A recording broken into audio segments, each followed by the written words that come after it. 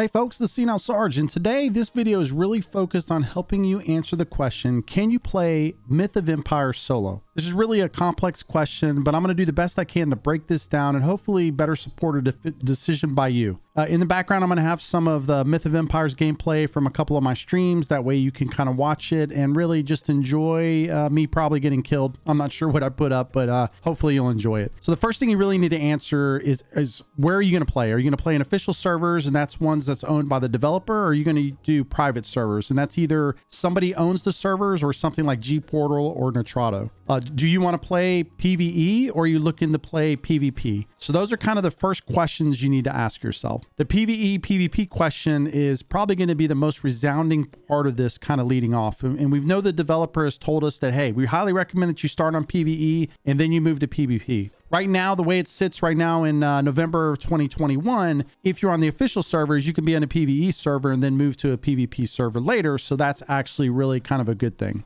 Uh, the official servers, if you play on those, they're going to be uh, more resource gathering extensive as a solo player. You know, you're not sharing the workload with guild mates, so you're not out. They're not they're not gathering stuff and you're gathering stuff and you're kind of bringing it all together to do it. You're going to be doing that on your own. For a private server, it may be a good option, but then you need to find the right server, right? The the a server that that really complements you, your play style, and kind of who you are and who you want to be around. If you're solo, NPC battles are going to take more work. It's going to be harder.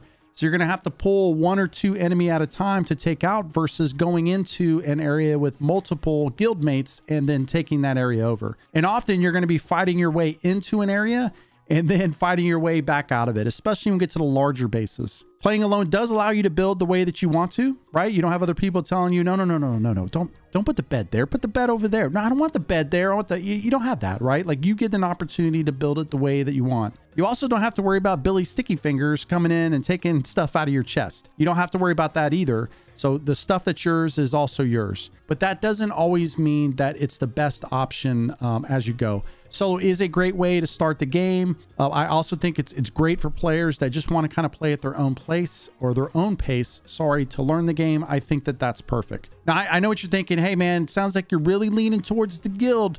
See now, and you're right. I am. However, I do see the positive impacts of you playing the game solo until you hit about level 20. And the reason I say that because at level 20, your protection buff kind of comes off. That's the perfect time. You've had an opportunity to play the game. You understand the mechanics. You've had to build. You've crafted, you've gathered, you've done a lot of the work inside the game, right? You understand the skills and talents and well, we're not going to say you understand it because it is a it's a it's a very detailed game. There's a lot going on, but you're at least going to touch it and kind of understand it.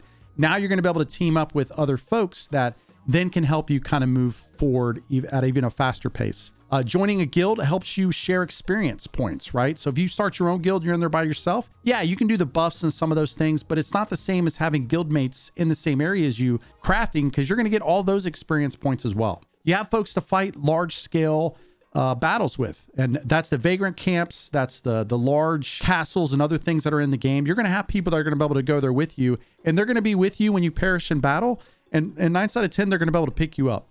You're not going to have that if you're running, if you're playing the game solo. Actually, also when you're playing in a PvP based gameplay, it's good to have allies, right? It's good to be out there. As a solo player, it's rough playing PvP, especially in this type of environment. So that's something else that you should think about. And then finally, what I would tell you is uh, you can share cost of guild taxes, decaying. There's a lot of resources that you have to put into the guild, uh, you know, the, the guild tower each day to make sure that everything's there. And you're not, you're going to be doing that all by yourself. And that's a lot. I guess my whole recommendation for this whole thing is I do think you can play solo. I think you should up to level 20. Then I do think you should join a guild somewhere, be on a server, but just make sure this join the right guild or join the right server from the get-go and that's either official or that's going to be private make sure that you find the folks that you want to play with that they're that they're similar to you that way when you join it then that's where you're staying because remember, official and private don't intermingle. So you can't move from an official to private or vice versa as it stands right now. If you're not sure where to find a group or you've been looking, you've looked on the Discord for Myth of Empires, you're not finding anything. Hey, I tell you what, come on over to my community, discord.gg forward slash rally point. The link in the description. We got a great group of people. We got lots of people that like helping.